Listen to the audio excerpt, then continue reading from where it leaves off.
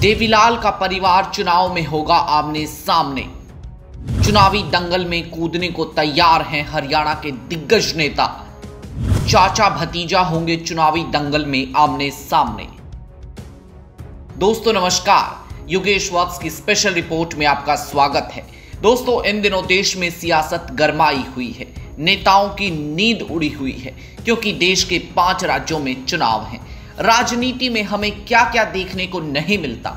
यहाँ तक कि राजनीति में रिश्ते भी बलि चढ़ जाते हैं और सत्ता पाने को लालायित नेता अपने ही परिवारजनों को भूलकर, सारी मर्यादाएँ रिश्ते नातों को भूलकर सिर्फ़ सत्ता पाने को लालायित नज़र आते हैं।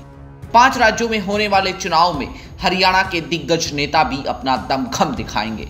तो वहीं प्रदेश की सियासत का सबसे दिग्गज परिवार, यानी कि चौधरी देवीलाल का परिवार पंजाब और उत्तर प्रदेश जैसे राज्यों में आमने सामने प्रचार करेगा। पड़ोसी राज्यों में इनेलो तो अभी से सक्रिय हो गई है।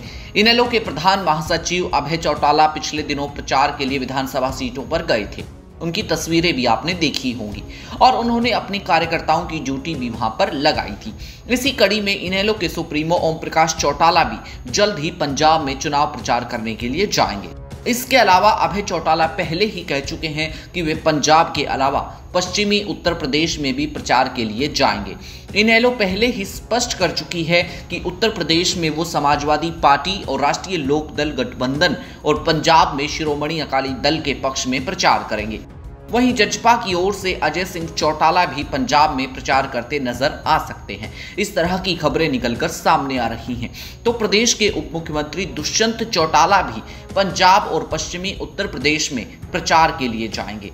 दोस्तों, इन चुनावों में चौधरी देवीलाल का परिवार आमने सामने प्रचार करेगा। आप इस मुद्दे पर क्या सोचते हैं? प्लीज़ मुझे कमेंट करके ज़रूर बताएँ। क्या चौटाला परिवार के इन चुनाव में कूदने से राजनीतिक समीकरणों में कोई बढ़त हासिल होगी? क्या समीकरण बदलेंगे? या अन्य नेता, जो हरियाणा के अन्य नेता इन चुनावों में कूदेंगे, उससे इन चुनाव की तस्वीर क्या बदलेगी? आप क्या मानते हैं? प्लीज़ मुझे कमेंट करके ज़रूर बताएँ। और देश दुनिया की तमाम खबरों के लिए जुड़े रहें के मीडिया का साथ। नमस्कार।